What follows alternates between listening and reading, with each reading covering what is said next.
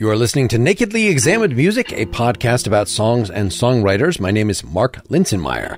My guest for episode 184 is guitarist Mike Baggetta, who's had 18 releases since the early aughts. You're right now hearing There Just As You Look For It, the title track from the debut release 2005 from Tin slash Bag, that is trumpeter Kris Tiner and Mike Baggetta. They've had four releases, the most recent one being 2021. He's also released some avant garde jazz solo stuff and four albums with the Mike Baggetta Quartet, which is definitely a jazz unit. We're going to be focusing on his more rock and roll instrumental work today. Everywhen We Go is the new album by Mike Baggetta, Jim Keltner, and Mike Watt. We'll talk about the title track from that. Uh, Jim Keltner is a very famous studio drummer with the Traveling Wilburys, with Ry Cooder, many other places, played on a lot of Beatles solo albums. And Mike Watt, also incredible, has been on this show before. Started with the Minutemen, Firehose, very important alternative rock artist, has played with Iggy and the Stooges, etc. Then we'll go to the previous album by that trio, Wall of Flowers from 2019. We'll talk about Hospital Song. Then we'll look at another recent project. MSSV is really that same trio, but Jim Keltner didn't want to tour, and so Stephen Hodges plays drums instead. We'll talk about the song The Mystery of from their 2020 album Main Steam Stop Valve. We'll conclude by listening to the A side of the 2022 MSSV Meets Nels Cline EP. The song is called What's So Funny About Social Justice. For more information, please see MikeBaggetta.com. For more about this podcast, see nakedlyexaminedmusic.com. And of course, if you want to support the effort, go to patreon.com slash nakedlyexaminedmusic. That'll get you ad-free episodes and access to my detailed episode notes. Here we go. So I will have played a little bit of There Just As You Look For It, the title track from, I guess, your debut album as Kris Tiner and Mike Baggetta 2005. But do you have a vast jazz guitar school repertoire before that, or was this kind of your actual debut? Well, the first album I ever made is an album called Canto, which is a of prepared guitar music. Oh, oh, that is the first. Okay. That might have been 2004. There, just as you look for it, that is the first album of a group that became known as Tin Bag, which is just the duo of me and Chris. Yes, and that solo album is perhaps a little scary to start people off with because it's all that prepared guitar stuff. It's fascinating to me as somebody who went through composition school and having to listen to like you've deprived yourself of the ability to play pitches in a recognizable way. So it has to be all based on the intensities and the, you know, but it's a little more avant garde than what we're going to be focusing on today. Yeah, that's an interesting way to put it. Like to me, when I play prepared guitar, and even now when I do preparations on guitar, I definitely don't think about it like depriving myself of something, but actually adding something that I don't have before. Sure. So, yeah, the viewpoint of it is kind of interesting. But there, just as you look for it, that is uh, also prepared guitar just the preparations are a little more subtle, I think, than some of the stuff on Canto. What are you doing to the string? Like I know prepared piano, John Cage, whatever, going in and mm-hmm. putting paper clips on the strings and stuff, but you have fewer strings to work with on guitar. What does the preparing involve? A piece of paper weaved in? Yeah, for me, it's a variety of different things. Usually it's alligator clips, like electrician kind of those metal clips. I can put those on the string near the bridge or different parts of the string to kind of accentuate different harmonics or sometimes I think on there, just as you look for it, it's a combination of a couple of clips, and I have a little on that guitar. I had a little rubber band mute kind of arranged where I would put two clips on the F holes of that guitar and then string a rubber band across it, and the rubber band hits the strings right after the bridge, so you get just a little bit of muting in the way that a violin mute. It's kind of a piece of rubber that goes over the bridge. So it's kind of like that. It just mutes it a little bit. I think that's specifically what's on that track. Well, all that is just to say that you're coming from a avant-garde slash jazz background to get to 18 releases later in 20 years here. Everywhen We Go, the new album that you've released with Jim Keltner and Mike Watt, amazing team there. The second one you recorded with that particular lineup. Can we say a few words about this project, this song before we hear it? And then we'll talk more in detail about the song. This song is kind of a first attempt, actually, of writing a song specifically for this group, which is maybe funny to think about because, like you said, it is the second record. But the first record we made, Wall of Flowers, we had all just met for the first time in the studio the day we made that record back in uh, 2017, I think it was. That's the way jazz works. yeah, well, a lot of life works like that actually. But this second time around, I felt like, well, maybe I have a little better idea what it's like to work with them. And I can really try to write something that is specific to what I felt playing with them last time.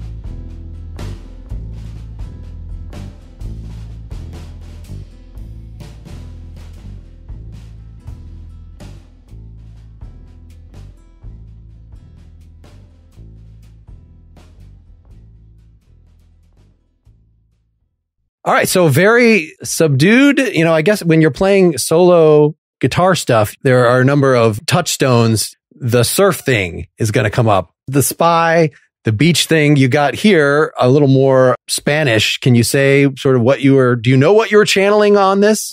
Uh, yeah, I really don't. Those things you mentioned are interesting because, yeah, the surf thing kind of com- has come up a lot. And I never really got that.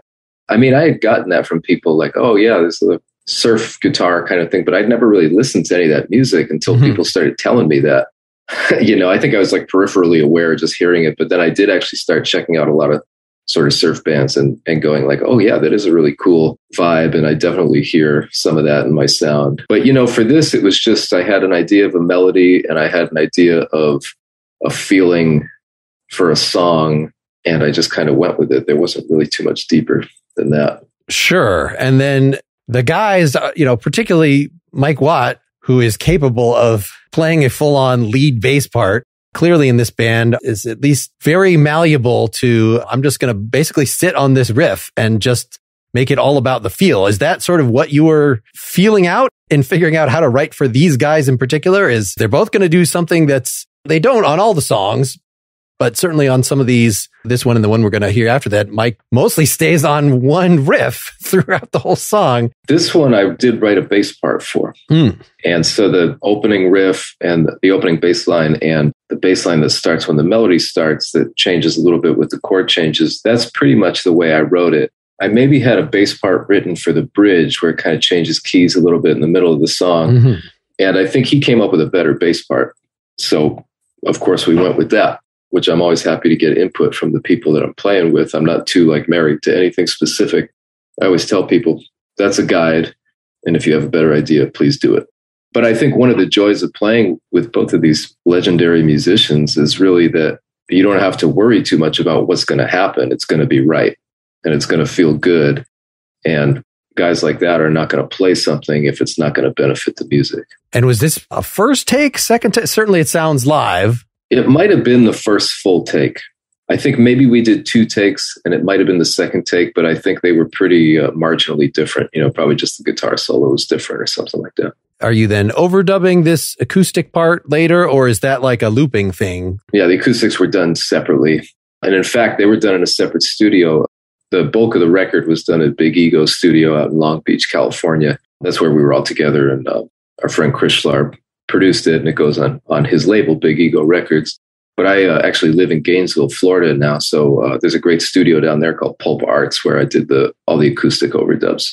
And keltner obviously is a, a legend among drummers. For sure. And it's a very entertaining part that he could play you know a pretty straight but just his feel is is wonderful.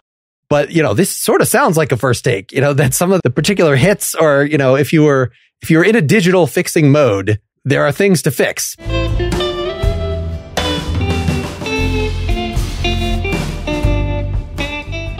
But I guess the raggedness is part of the charm. Or do you even feel that like when you're overdubbing your acoustics? Yeah, I didn't feel that at all. okay. I don't think there's anything to fix on there. I think everything is perfect. You know, I mean, yeah, you might expect a cymbal hit to happen after the fourth measure or the eighth measure or whatever, but then you're getting something that you expect. And at that point, it kind of uh, negates the purpose of having other people play in a style that you can't define or something that you wouldn't think about. I love all the surprise that happens with playing with Jim. You know, nothing's out of place, everything's perfect, even though it might not be what you would think. Mm-hmm. But that's why I like playing with other people. You weren't thinking spaghetti western. You said with this, no. this lead part. Do you write these things? This is a very singable part. Do you write them in your head before you go to the guitar, or is it really with the fingers that it just comes out? Yeah, it can happen both ways. I think with this one, it was maybe bass part 1st mm-hmm. which is something I usually do a lot with the songs that I write for my band MSSV that Watt also plays bass in. A lot of times I start with the bass part and compose up from there. And I think this was kind of the same thing, especially with that first opening bass line. I think that was first. And then I, I had a melody come in that I think was probably in my head. And then for me, I usually do write music with the guitar, at least nearby. So I would probably have found that and then just kind of spent this one came up pretty quick. So I probably spent a few days trying different melody ideas and then it ended up kind of solidifying. You know, sometimes you can take like months or even years. I have little pieces of recordings on my phone memo recorder that I'll go back and I'll sort of transcribe over the months or years and end up putting stuff into songs. But this one came out in a few days. So luckily the melody uh, presented itself. All right, let me try to pull out one little section. This is about 211 in.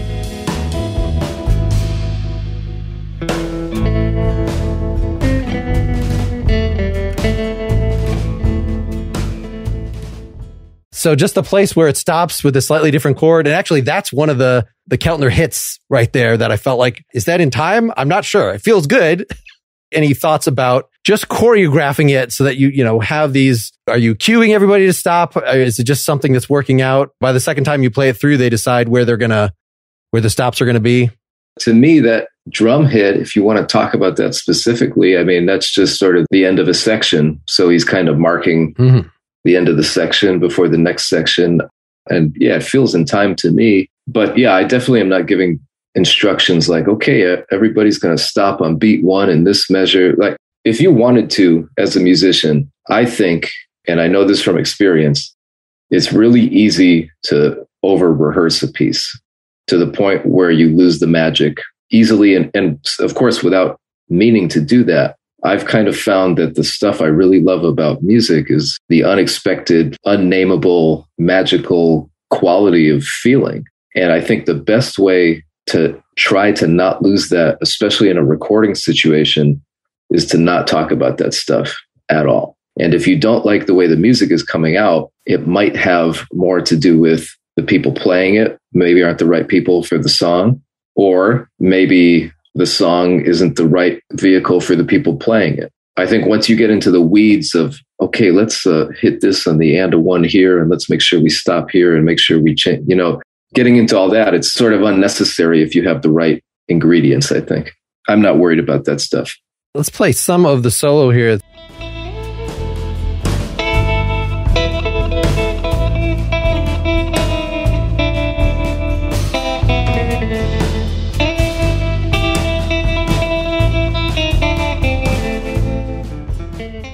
It's a lot of very tight, like chromatic harmony. I guess I'm playing two strings next to each other in such a way that there's only a half step between them or any thoughts about how you're putting these things together? Is it just purely instinctual? Yeah, I mean, that's a guitar sound for sure. I mean, like you're saying, just physically, you can have open strings and you can play notes that kind of ring out together. But, you know, solo is not really something I work out beforehand.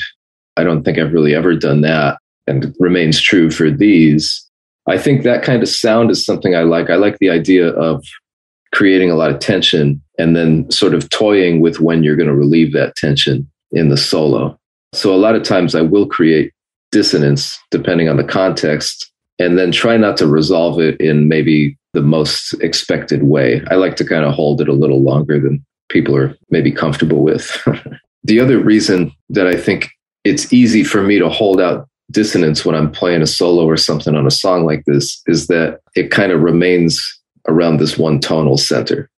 Mm-hmm. So if anybody's kind of listening, thinking about how they might want to try to use that stuff, I think it's really easy to make dissonance hang for a really long time and kind of prolong that resolution when you have kind of a drone or a kind of one general tonal center. It makes it a lot easier to mess with the expectation of the listener for something like that. Well, and any thoughts about sort of on, uh, I guess with a song like this, there's a limit to how crazy you want to get, right? That some of the other songs, like if they. No way. No, I, I would never think about it that way. I, I don't think about it in terms of this song has to sound like this mm-hmm. or that other song has to sound like this. It's just going to be what it is. And I don't want to get in the way of it turning into something that might surprise me or someone else. So the time that we played this, that it got recorded, this is what it happened to be if we were going to record it another time and everybody was in a different mood or it was different people or a different situation, it would have been something completely different. And that also would have been fine with me. Well, I'm guessing that sort of one post hoc edit here is to add that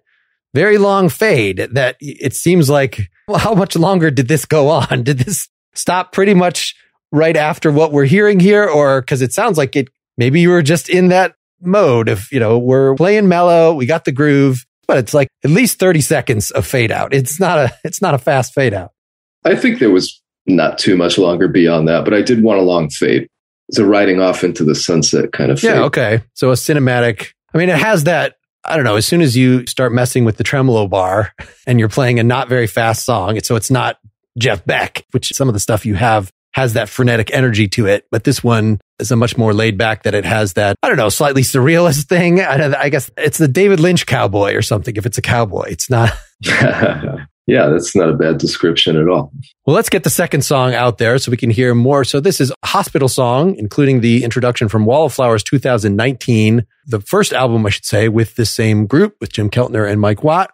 Any thoughts before we hear it? I saw a version of you playing the solo on YouTube and it was two minutes and 20 seconds. Whereas even neglecting the minute long intro here, the main song is five and a half minutes. Any thoughts about the development of this? When you didn't know, you, you said you met these guys the day of. Yeah, this is a song that I've actually had for a really long time. And I recorded it on a much earlier record on the uh, Fresh Sound New Talent label, which might have been my first record for them called Small Spaces. And I wrote this song when I was in the hospital trying to put the pieces together. I think in 2006, I had uh, thyroid cancer. So I had to have my thyroid removed. And I remember kind of laying in the hospital overnight after the surgery, you know, feeling pretty vulnerable and not being able to sleep and hearing all the beeps and the machines and stuff. And I remembered this melody, a piece of something that became this melody so that once I got kind of well enough to sit up with a guitar, I was able to write this melody down and turn it into a tune.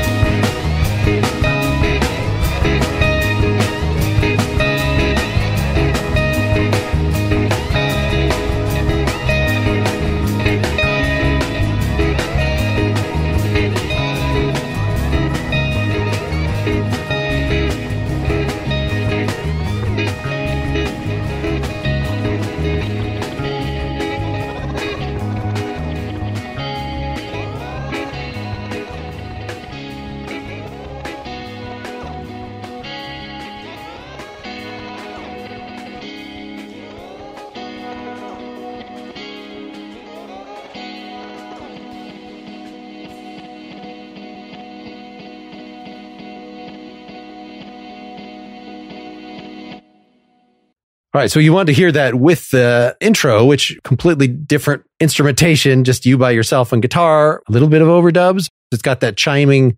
So is that looping or something? Because you're playing by yourself, but then it has these chiming additional. There's a 12 string part. Yeah. And then the song itself. So which came first, the song itself or the intro? Or is the intro just, if you had this floating around for 15 years, something, you know, t- at least a, a decade, I assume that variations would come up. And instead of just saying, this is the one that's on the album, let's put two of them. Is that the thought here?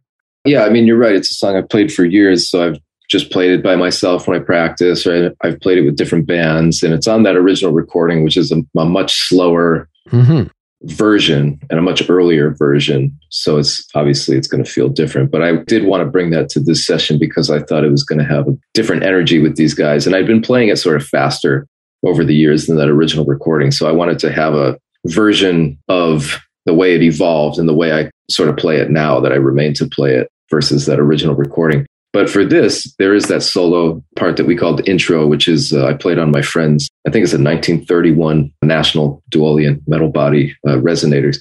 I borrowed that for the recording session, and we did a day of solo recording before doing the day of band recording for Wall of Flowers over at Big Ego Studios, because there's a couple solo pieces on the record, right? So I think one of the things we did was just thinking ahead, like, well, if we do this on the session, it might be cool to have a solo version in case we want to use it for something. So just chronologically, yeah, that definitely happened a day earlier than the, the band recording would have. Let's insert some of the previous version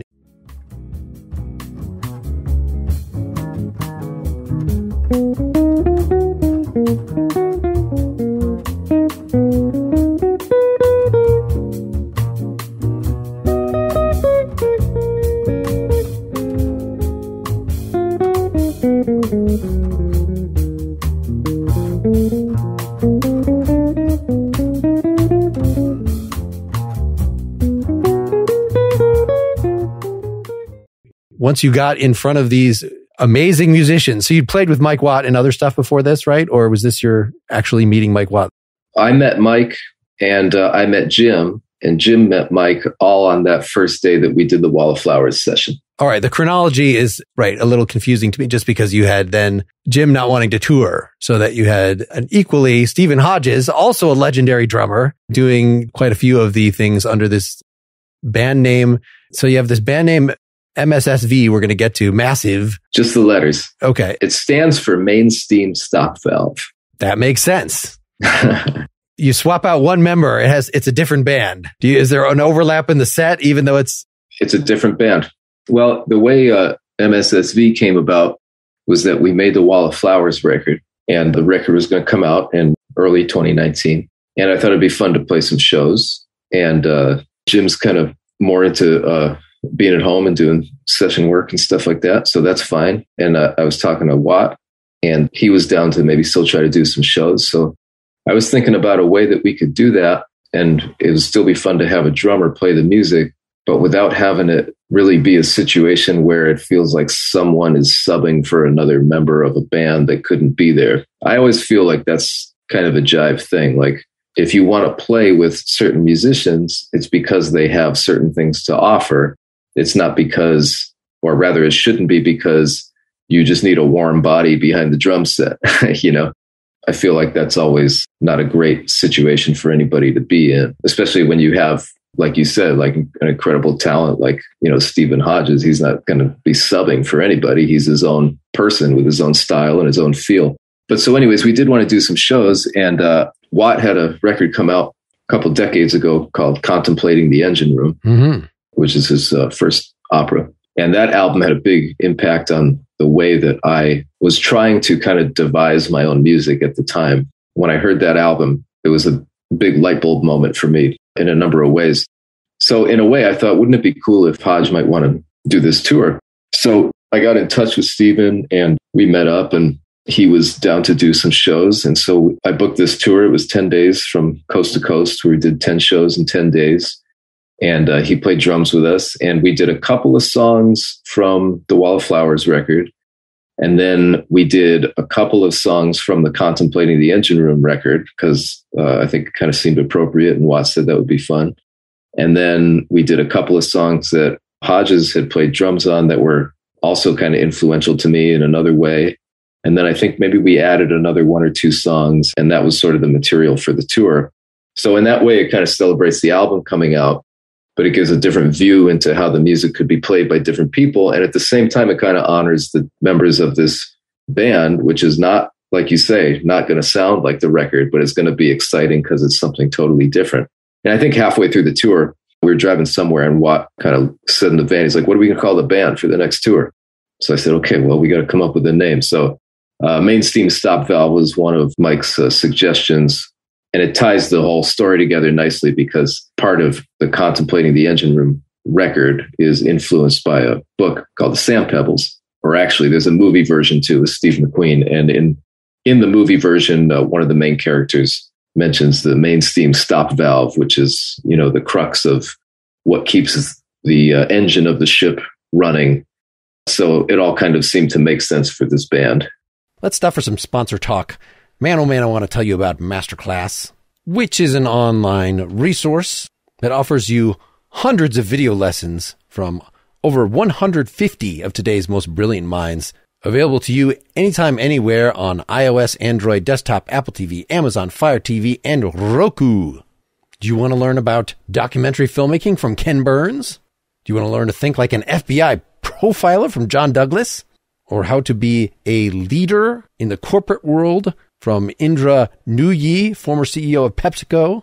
Or maybe you want to learn how to make a realistic portrait or pick a wardrobe to best express your inner being or polish up a short story. Or perhaps, as listeners to this podcast, something in music.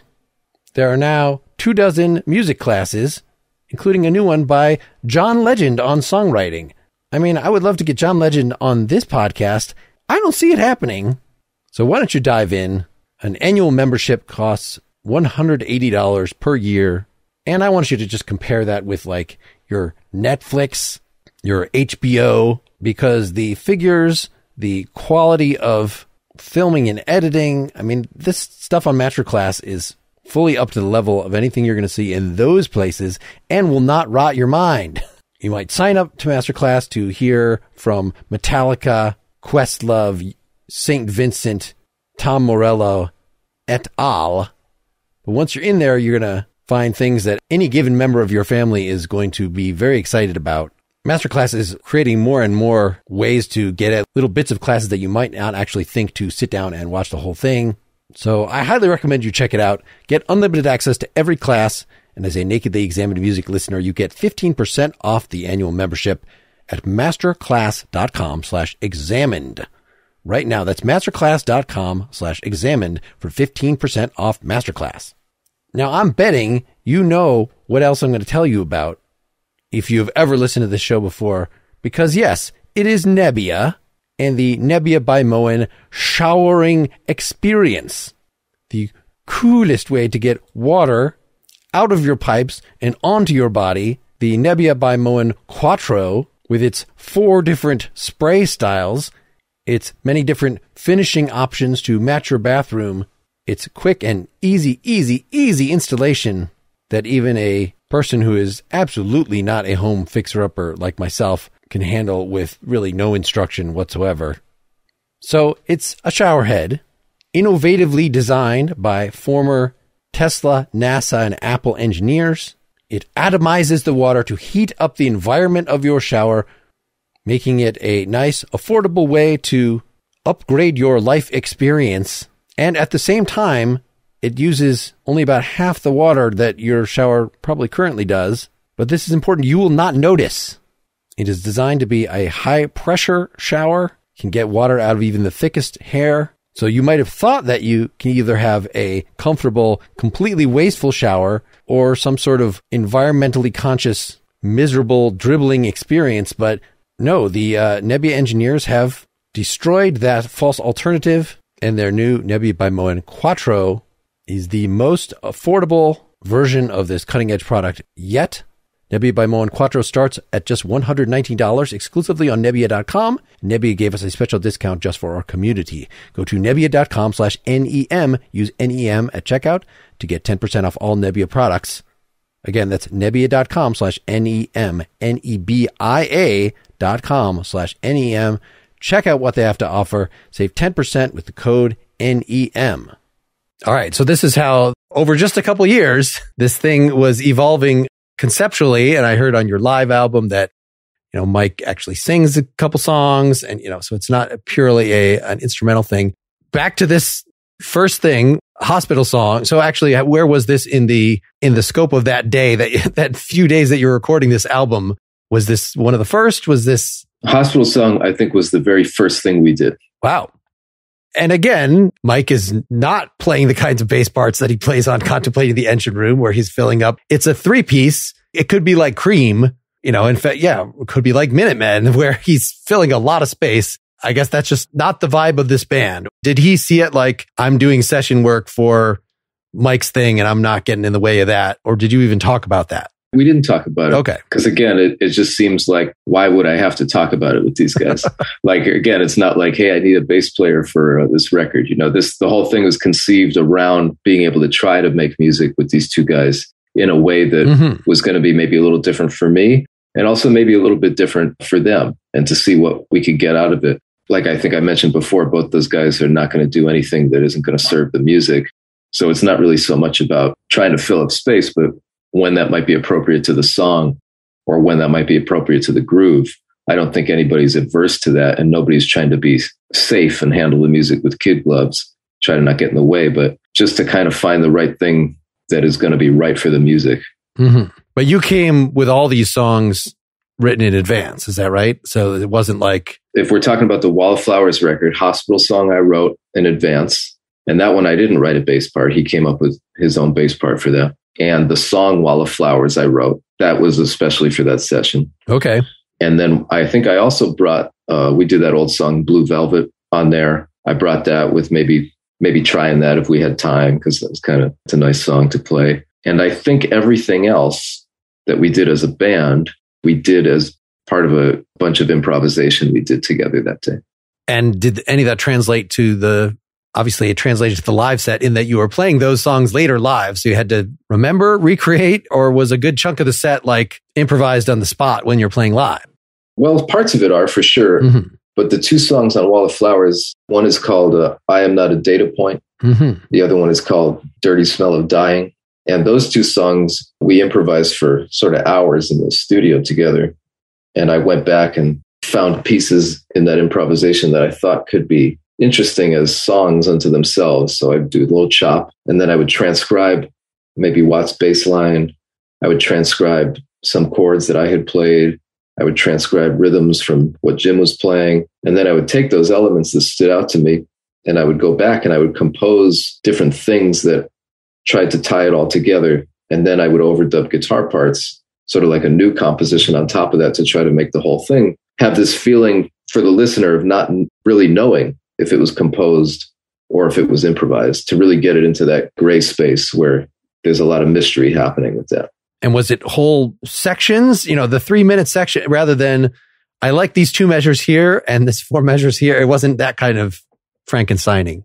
It was some of both. Mm-hmm. There were longer sections where I would transcribe all the drum rhythms or all the guitar chords. And then there were little two bar, four bar sections of things that seemed really important to my ear and maybe I would take those and treat them as sort of the main elements for recomposing to it. Just a little more on hospital song. So this, like the first song, has some guitar overdubs. I assume after the fact. Let's strum an acoustic just to like make the chords. To me, it's the effect is make the chords clearer because who knows what the lead guitar is going to be doing at this point. That wouldn't have been why I did it, but I did do them after the fact. Uh, I think I just like to hear the mix of acoustic and electric instruments. I don't do it because I think something needs more like harmonic foundation or something. I feel like that's going to be there to some degree that I don't need to reinforce it. But I do like that mix of acoustic and electric instruments for sure. Sure. Well, and then the main overdub, this, in fact, let me just play it 49 seconds in.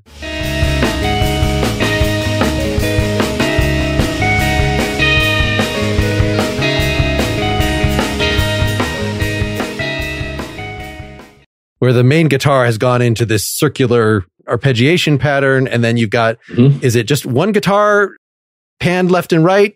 You know, that so with a delay, or is it two overdubs there to get the da da? Yeah, that little sort of sub melody line, that's a guitar on the left and then another guitar on the right. So two different tracks. So that seems essential. Like that adds a whole layer of poignancy. But was that even part of the initial conception, or was that just a I'm going to thicken this up? Yeah, it's not part of the original song. Hmm. And it wasn't even in my head the day we recorded it. But when I was doing overdubs at home, I remember listening to the song and thinking, like, yeah, it usually sits in that cyclical harmonic thing, like you mentioned. But wouldn't it be cool if there was some other little catchy thing there? And I didn't know what it was. And it took me actually a long time to come up with that little melody line and to realize that it could happen twice and it could kind of fall into each other. Mm-hmm. And of course, at that point, it makes sense to do to do a hard pan on it. I mean, are you used to before this run of albums having a saxophone there so that, you know, if you have a second melody in your head, you can do that. You can sculpt it that way. Whereas now, okay, it has to be some post hoc thing, which clearly you can't do live. Or did you change the way you do this so that you can gesture at that riff? Yeah, exactly. I can sort of add it in live. I try not to run stereo live because it's sort of Well, sure. just an extra kludge for for everything that to hold it up. But um, Would everybody mind standing exactly in front of my amp so you could hear the two sides? The right, yeah, forget it.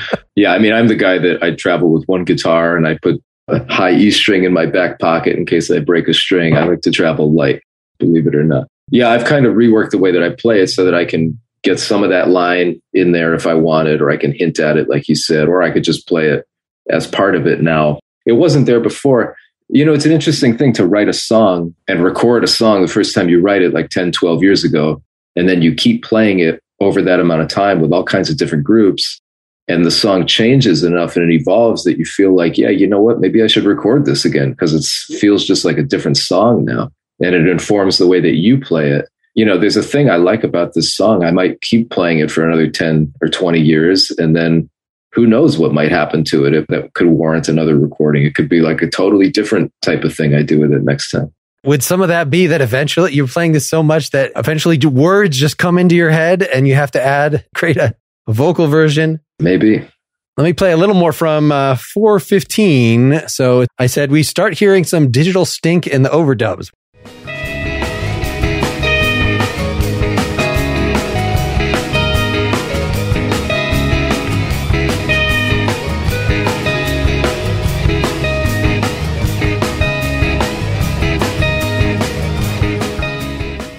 Is that just playing with the reverb while mixing, or is this something that you can and do do on stage by twiddling knobs and clicking pedals? Yeah, yeah, there's some knob twiddling for sure. I do a lot of live sampling, live looping. I'm Mm-hmm. I hesitate to use that term because it sort of means something else to a lot of people, but I like to capture bits of what I'm playing live and have them available to sort of process and spit back into the music. It's kind of an interesting concept for me, like taking a memory and putting it back into the current state of whatever you're dealing with. I like that confusion of the timeline in music, although that also does bleed into different areas of my life. But you know, like that feeling where you you wake up from a dream and you're not sure if what you remember actually happened or if it was the dream. Just that little moment where you can't really tell. I love that part in music. So one thing that I can do to help access that is to capture bits of things that have been played and reintroduce them at a later point in time. So that's what I kind of mean by live sampling, live looping. So that Mm-hmm. particular sort of high pitched thing that you're referencing in the overdub on this song, that is a little sample that comes from the cyclical sort of chord pattern. And so it's captured and then it's sort of randomized in the way that it's played back. And then in this specific case, I have it running into a Digitech uh, whammy pedal, like a pitch shifter. Mm-hmm. So I have it kind of going up in fifths and then also moving up in octaves and kind of alternating. I'm trying to remember exactly what I did. I think I have the sampled material. I can pitch it up in an octave and then I can shift the key so they can match the different chord change because there's two different chords in that little cyclical pattern. It's a little bit to keep track of, but that's, you know, you get good at it. It's like practicing the guitar. On top of just seemingly having the whammy bar constantly in your hand so that you have that extra. When did you get in the habit of doing that? Do you know what your I had said Jeff Beck earlier because that's sort of what I associate with the guitar. Even bending with my fingers is not enough flexibility. I must, you know, rip the guitar in, in half practically as I'm playing to add that extra layer of, you know, it's either that or put a slide on a finger. Yeah, slide is probably the more obvious choice for a lot of people. Yeah, one of the first albums that really had a big effect on me actually was a Jeff Beck record where he is starting to play the Strat, that record called Wired from, uh, I think it's the late 70s. Yeah, that was a huge record for me. It was in my dad's record collection. And that was the one I would always kind of pick out and wore out over the years. And specifically because he played, this is kind of how I got into jazz as much as I got into it or was able to get into it. He plays a version of Charles Mingus's Goodbye Pork Pie Hat on that record. And I didn't know anything about anything, but I loved listening to that track on that record and the way he plays it. And I remember looking at the liner notes on the back of the record and sort of realizing like, oh, he didn't write this song, but he recorded it. And so to like my young mind, that was really interesting. Like, oh, you don't have to write your own songs to record them. Okay, interesting. Well, who is this Charles Mingus? character. So I think I went out and sort of started to learn about who he was, or maybe I got a Mingus record. And that was kind of how I got interested in jazz music, sort of working backwards through liner notes on records, finding just following things that were cool with my ear, you know. And so I was aware of like that style with the whammy bar and things, but I never really thought it was for me until I started hearing uh, another guitarist named David Torn. Oh, yeah. The way that he's able to really give a very human sound to the instrument as well as all kinds of other unknown creature sounds to the guitar. You know, I think a lot of it had to do with the way he can manipulate the, the bar and sort of make the notes move in the way that a voice would move. So the way he used it really started to speak to me where I started thinking like, you know, there could be something for me in this. And of course, you don't want to mimic things exactly, but I had a feeling that there was something for me in my voice and on the instrument and in music that had something to do with that from hearing the way that he could do it. And so that was really when I started to kind of investigate that. He he's such a big help to me. He's like so generous with his knowledge, and I got to play on his last uh, ECM record called Son of Goldfinger. He added a couple of guitars to the string section on one of those pieces on there, so I got to really work with him on that music. And uh, so it was really cool to be on a record with someone you've kind of looked up to from afar and on your instrument for decades. You know. But he told me all kinds of really interesting things that you can do at the whammy bar and stuff that I still continue to practice daily. Well, and I wanted to ask you, I mean, having those sort of connections, how to navigate. It seems like it used to be that rock and jazz were just separate things. But somebody like David Torn, who's done so much session work and that you can have the jazz background, the jazz chops, but still be welcomed on that I don't know, whatever things that Brian Eno has produced or the things that are influenced by that. This British influenced. I mean, that's not what you're doing. This is a very American sounding record now, but it's still, did Tin Bag just play jazz venues or how, how do you even market yourself when you're starting an instrumental group here? You know, I never really worried about it that much. Maybe I should have. People don't really know what to do sometimes when they don't know what to call something. But for me, it was never really a concern because I love all kinds of music and I never really thought that I had to choose you know like are you a are you a mets fan or are you a yankees fan because you can't be both that never really seemed like a music thing to me like yeah of course i love jeff beck and i love miles davis and i love dinosaur jr and i love shostakovich and i love king sunny ade and i love james brown and you know like why do you have to only do this and of course i'm not like naive like yeah i understand that genre helps people define things for lots of reasons, but I just want to see how long I can stay away from that. I actually use a term called post genre because I feel like in 2022, it's sort of pointless to be having those little minutia discussions anymore. Because, like you say, it's there's a whole history of music of things mixing. Why do we keep trying to separate it? It was more just like, are you playing jazz festivals or who who's on the bill with you? Who will book you? It seems like those things are defined less by musical style than by networks of musicians. But now we have David Torn and folks like that who seems to have actually last time he played in my town in Madison, it was like at a university arts building. It was not, it was not at a bar that Mike Watt's band of the day could have been opening for them or whatever. It was some, this is art music. I don't know. I guess that's the way whoever was booking that tour decided to look at it. And I guess if your songs are all, if I'm remembering that album correctly, I was, I think I was in talks to maybe have him on the show at that point, but all the songs were 15 minutes plus. It was a little difficult to put, you know, I'd still love to talk to him sometime. But yeah, anything to relate in terms of when you say uh, you don't worry about that, is that just because someone else is booking the tours or are you a very DIY musician in terms of the business? Yeah, I'm usually booking the tours for sure. But I mean, I've booked things at art type performance spaces as well as rock clubs, as well as different types of music festivals. I'm not worried about it. So I want to try to see if I can make everyone else not worried about it. Sure. I'm not too picky. If there's an environment that's willing to let the music happen and expose people to it that might not normally be exposed to it, I'm like even way more for it. You know, if you put art music in a rock club or if you put rock music in an art space, let's do it. Yeah, I guess it's just a matter of how high they have you cranked in the PA. Or it makes the people sort of think differently about what they might have expected. Mm-hmm. You know? Well, let's get the third song out there. I'm taking so long getting distracted by it. But we've already talked about MMSV. So the mystery of which this is a much less straightforwardly audience friendly thing. I mean, it's got a, it's got a sort of a warped spy surf sort of thing, a lounge gesture. You know, it's still very melodic, but especially this opening, I wrote jingle bells from hell prepared guitar. So what you're doing, can you prepare folks for what they're about to hear from this main steam stop valve? This is 2020. So in between the two things we've heard.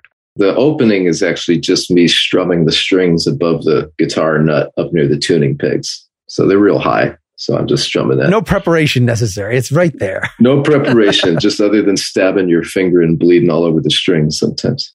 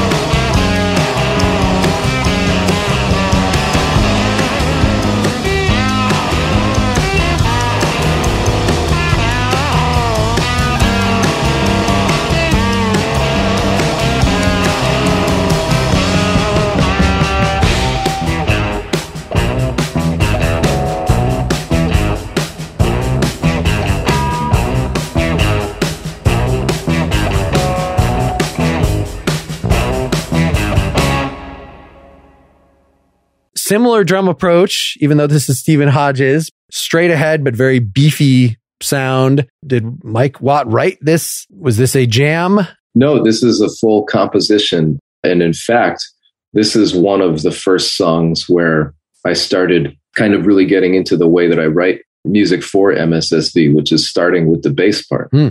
This is an idea that Watt had brought up uh, at some point on one of our little previous tours. We get to talk a lot when we're on the road, just talking about whatever, listen to a lot of music. And I think one of the conversations was like, how come often people write the bass part and then it's just maybe kind of a little throwaway thing and then they really want to get to writing the melody over it? What happens if you start with the bass part? What happens if you start with a bass line as a foundation and you compose the rest of the song influenced by what the bass is doing? Right? Kind of a deeper thought than just have a good bass line and then get the melody going over it, right? So I kind of thought that was really interesting. And I like the idea of writing music specifically for the people that you're going to play it with, you know, which is not an original idea. I mean, at least Duke Ellington, at least back in the 20s and 30s, was talking about that. And I'm sure plenty of people before that have had that idea. Ideally, the people you want to play with have that individualistic sound, that individual voice that they can add to something. So why wouldn't you take advantage of that? And so in my case, Watt's there with his very identifiable bass sound that I've been listening to in all kinds of different records and bands over my lifetime as just a listening human. So there's a sound and a feeling when I think about his sound. And I get the opportunity to write music around that. I'd be kind of foolish not to experiment with that. So this is one of the first songs where the first thing I did was try to come up with an interesting bass line that I could imagine sounding really fun for him to play and kind of maybe influenced by things in my ear that he's played before, but then also using that as a stepping stone to write the composition based around that part. I mean, a lot of the reasons the the bass part comes later, or uh, if you've got a very identifiable chord, it seems like what he's playing is harmonically ambiguous in a way that really gives you a lot of freedom. You know, if you're playing in a three piece, if you don't have to worry about the keyboardist next to you that's also trying to figure out how to fit in with this. I guess then you get something more like the bitches brew or something like that, you know, but having just the guitar that you can take this any sort of direction. Actually, this was the one. In fact, let me play about 137 in where I wrote underlying strumming on acoustic to clarify the chords.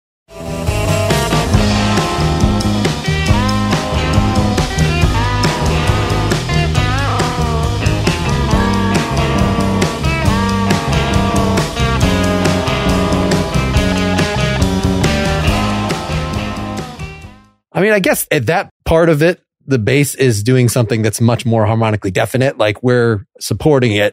So it's more just makes it sound juicier and thicker to have the acoustic there rather than just this very bent. I could see playing that very straight or doing it on trumpet or something like that. If you're going to have that amount of tremolo in there, having something to stabilize at least makes it sound sweeter, whether it was necessary or not it would have felt different if it was there. It would have felt different if it wasn't there. You're not saying it's a better or worse thing, but that's also just not how I would have thought about it. it just sort of, that might have even been a Chris Schlarb suggestion in the studio, like, hey, how do you feel about hitting the chord here once in a while? And I think it actually, there's another part in the song that comes next before the guitar solo where there's these little imagine them as little twinkling stars of notes panned left and right that are actually on the acoustic guitar. So I think putting the acoustic in that part of the song just sort of foreshadows that it's going to play a role texturally coming up. Let me play a little of solo here.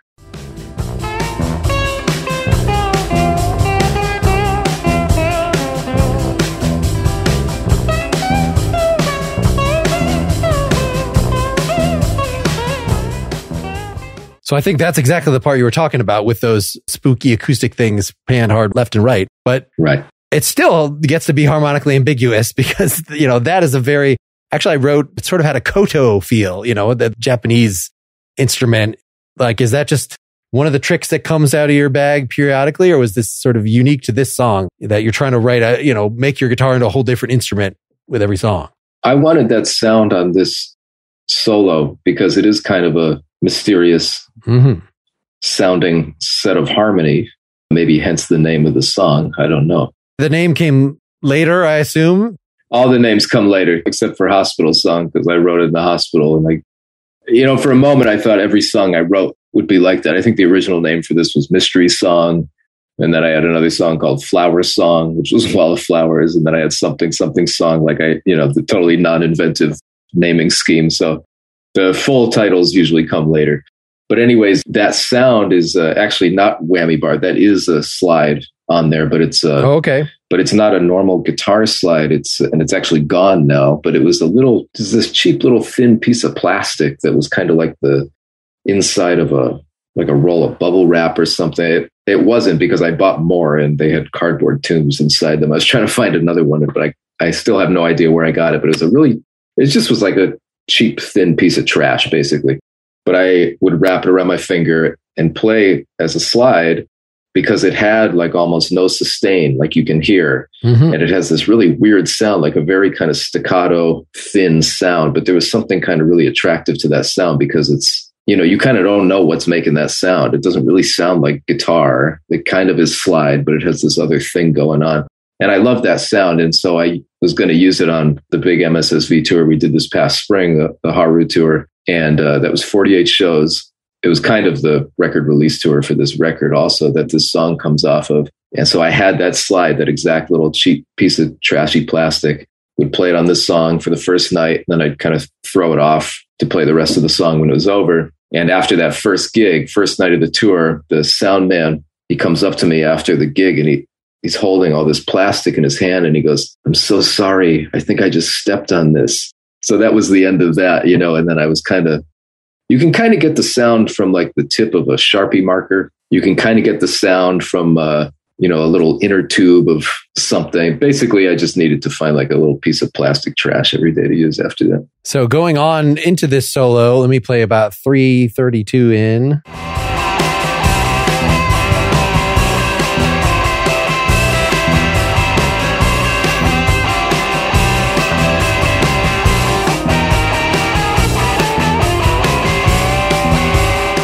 Where it just becomes like an extended chord, but like you're adding extra notes and you're, mo- I mean, I haven't actually seen you play this one live with your hand. Are you moving up the fretboard or are you just adding on a finger here and there just to kind of have some movement, but it still has, you know, the driving as if you're just playing one chord the whole thing?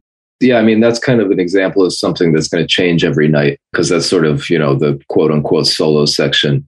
But, you know, in that particular case, like on the recording, I'm probably doing a combination of both in my mind. I'm thinking, like, oh, I want to keep building up the tension, probably both through texturally how I'm strumming, if that kind of becomes more unhinged, or also do I want the notes to go higher? And is that going to create more tension? I might be moving up like in inversions up the neck or adding notes to the original chord shape.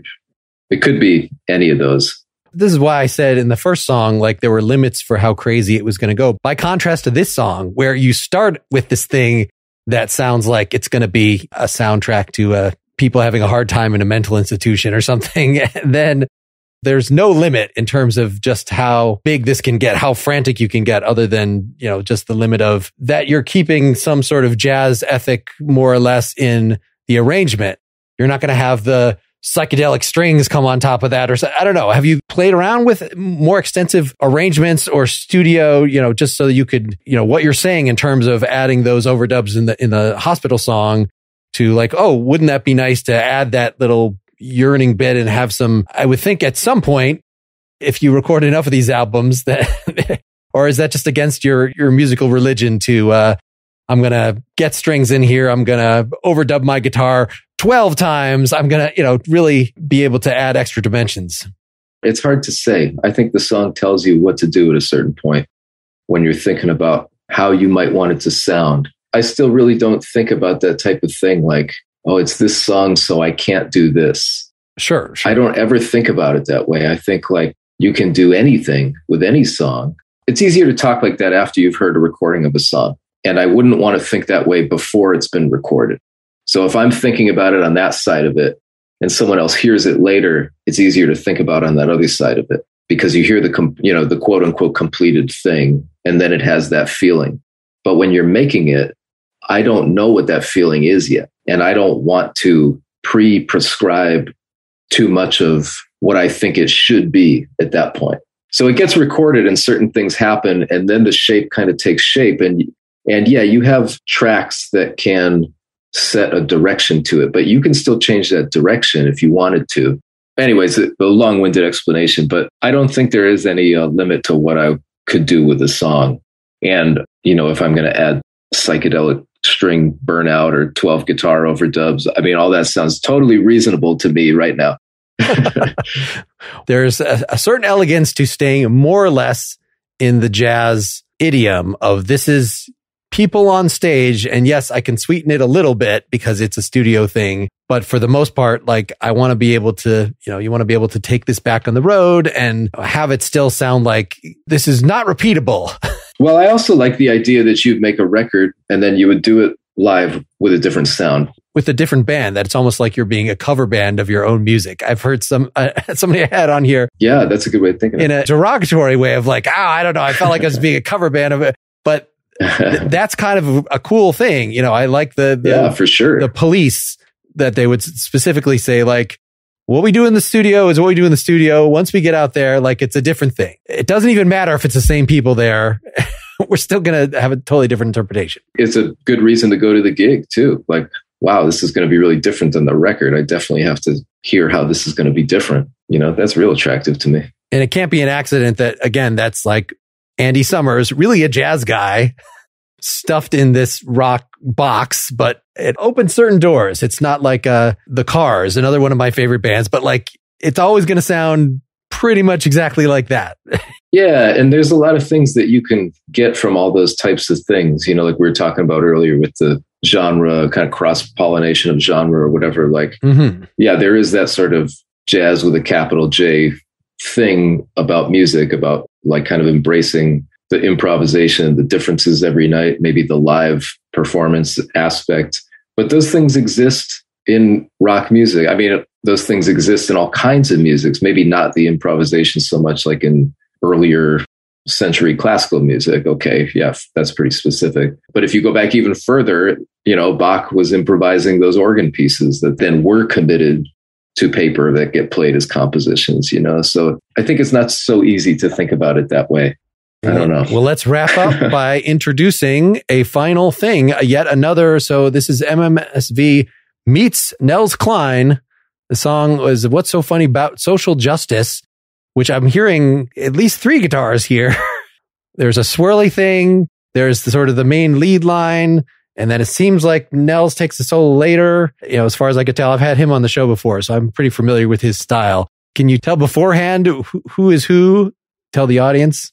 Yeah, there is uh, some sort of like guitar sampling, looping kind of sounds. I think that's both of us doing different types of things. Okay. And then I'm playing kind of the more chordal riff stuff in this song, and he's playing the more melodic type of stuff. And he is the one taking the guitar solo for sure, too. All right. Any other words uh, before we go about this meetup? Was Nels on your radar for? I know he's played with Mike in a band that I interviewed Mike Watt about. So, yeah, I mean, you know, Nels is like a big influence and, and also just like another super friendly, generous dude to little old me. But I forget when I first heard him. It was definitely a long time ago. And it was definitely like in more improvised music settings. But then again, back to Watts contemplating the engine room record. He's the guitarist on that record.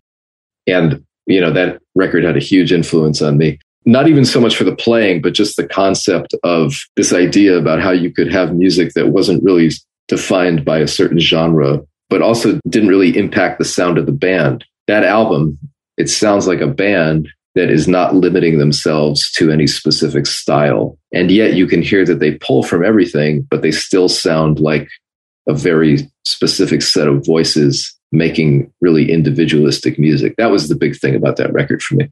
Uh, but so Nels was on there, of course. And so since that was the record that made me think, oh, I should ask Hodges if he wants to play with me and Watt in this band I'm making. And so when, you know, disease hit and we're all in lockdown, I was talking with Watt and Hodges, and we decided we'd try to do a bunch of seven inch releases where we'd record our parts separately and see how it worked out. So we started working with that. I was writing new music for us, and I would make these little demos of just, you know, ideas. They could use them or they could not use them for their parts, making a click track, writing the songs and sending it out. And then we'd see, like, oh, maybe we, is uh, somebody that would be cool to play with. Uh, so we asked Nels if he'd want to do a seven inch with us. And in this case, MSSV meets Nels Cline that uh, Striped Light Records out of Knoxville put out.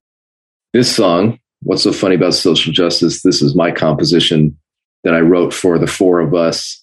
And the other side is uh, Nels's composition called Loose Stone Fresh Oil that he wrote for the four of us. So we each wrote one song to go on each side with all four of us playing together in mind. So it was kind of a fun way to work. And we recorded all our parts separately in our little home spaces. And we sort of sent it around with people adding their parts and sending it back to add other parts and then sending it out to get mixed and pressed and all that. So it was a good positive way to kind of use that time to still continue making new stuff. Well, that's great. I, am going to have to fish around to see who else, you know, in the more straightforwardly jazz community, it seems against the jazz religion to do stuff in separate, in overdubs in different studios, blah, blah, blah. Like, I don't know that Herbie Hancock would have done something like this, but maybe somebody a generation or two younger that are open to this kind of thing. Well, you know, I would just say quickly, I think Herbie is probably a lot more forward thinking than That's true. than musicians a third of his age. So I don't know about that example in particular. sure, he wrote Rockit. I mean, yeah, of, exactly, of course, yeah, exactly. Some flexibility. All right. Well, anyway, here we go. What's so funny about social justice? Thank you so much for doing this. It was a, a pleasure listening to all, through all your stuff. Thank you, Mark.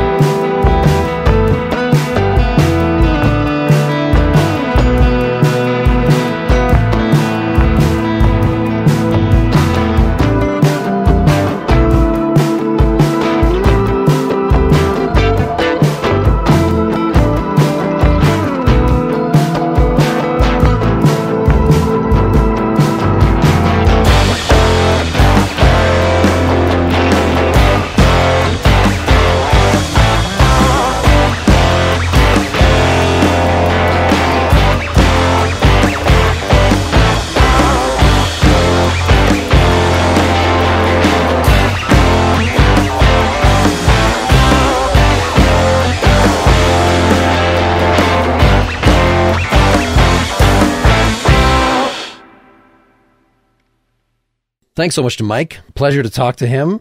Another guy who, even though he claims he does everything by feel, that he doesn't think about these things, still had quite a lot to say about these songs. You can learn more about him at mikebaggetta.com. The blog post accompanying this at nakedlyexaminedmusic.com includes links to some live performances, even some of these very performances we listened to by Mike, Mike, and Jim were, I think, captured on video in the studio. So you can actually see them emitting some of the noises you just heard. And if you want to hear more of Mike's more overtly earlier jazz work or his tin bag albums, I've got links to some of that material there. And if you're hearing this on the Partially Examined Life feed or somewhere else, I want to make sure that you are subscribed directly to the Nakedly Examined Music feed. Go to nakedlyexaminedmusic.com and look for the various links, or just look up the podcast on the streaming platform of your choice. Now, on Spotify, we actually just bundle all the Partially Examined Life network episodes together on one feed. However, if you're a Spotify user, there is a playlist for Nakedly Examined Music songs. So if you want to know what I'm going to be covering on the episodes I'm prepping for, if you want to have all the songs covered on every episode I've ever done in one linear list, then go search for Nakedly Examined Music on Spotify. But of course, Spotify does not pay the artists very much at all. So I encourage you also to just go to Bandcamp, say, or wherever you would normally buy music in digital form and throw a few dollars at Mike or any of the other artists that I cover. And while your purse is open in such a way, I want to remind you that uh, patreon.com slash nakedly examined music is a place where they would be most appreciated. Even a very small per episode donation shows that this is a project you want to see keep happening, which is not a foregone conclusion. So with inflation, your mere dollar, say, per episode is worth almost nothing, but it would be a signal to me that you are on board. So patreon.com slash nakedly examined music. Thank you to those who are already supporters, including currently Ethan Christopher, Matt Bernard, Mark, David, Ismail, and all the others that have provided support over the years. Is all very much appreciated. In other news, if you look me up as uh, Mark Lint, L-I-N-T, on the various streaming services, more and more of my archived albums are coming out on those. And I've been adding to the Mark Lint music playlist as well. And interestingly, Spotify, I think just added the ability for me to reorder such playlists. So it is not merely the order in which songs were added to the playlist, but I get to create a little mix of my own tunes, which is fun. Hope things are going well for you, that you're being creative, expanding your musical imagination through learning about cool artists like Mike. But however you do it, keep on music in. Until next time, this is Mark Linsenmayer signing off.